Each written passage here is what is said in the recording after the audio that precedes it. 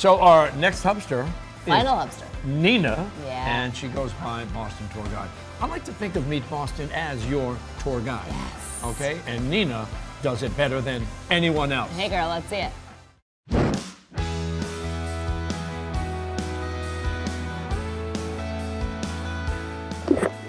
Am so excited to be showing you guys around the South End and Back Bay today. This is my neighborhood. I have lived here since I graduated college. There are so many hidden gems in this neighborhood and I cannot wait to show you guys around all of my favorite spots in this place that I love to call home. We're gonna start at Greystone, which is my favorite coffee shop in the South End and you're gonna see why.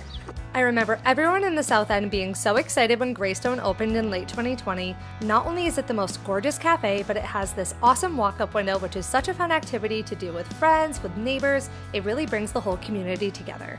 Now that I've grabbed a little pick me up, we're gonna head on to our next location, which is Rainbow's Pottery Studio in Back Bay.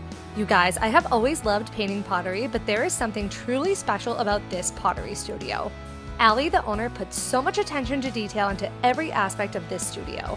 From the decor to the music to the pieces, she's truly so passionate about what she does. I'm here with Allie, who's the owner of Rainbow's Pottery Studio on Newbury Street.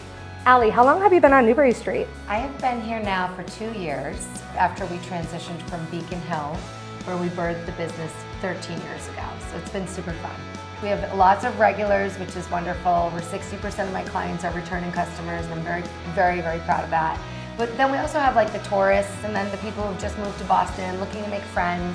We do events all the time. Even tonight, you're having a Taylor Swift night. That sounds so much fun. Yes, every Tuesday, Taylor Swift Tuesday, 6 to 9, picking out your piece, painting it with friends, catching up. And the best part is how they all get to talk with one another and put our devices down and use our hands for art, which is such an important thing to do.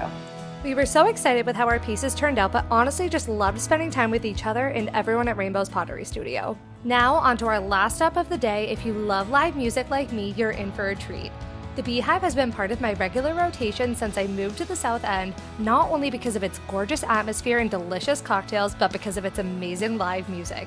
Every Tuesday through Sunday, the Beehive hosts different local bands. From bluegrass to soul to reggae, there's something for everyone. And how could I forget about the food? I mean, look at this octopus. We got the tuna tartare, the truffle cauliflower, and we couldn't not get the New York strip. Quick mirror selfie, one more cocktail, and a little bit more live music before the night was over. I mean, listen to how good this band was.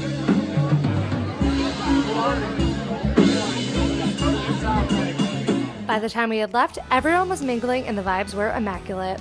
And that's a wrap on my day in the South End and Back Bay. I had so much fun showing you guys around my neighborhood. Until next time, Boston Tour Guide.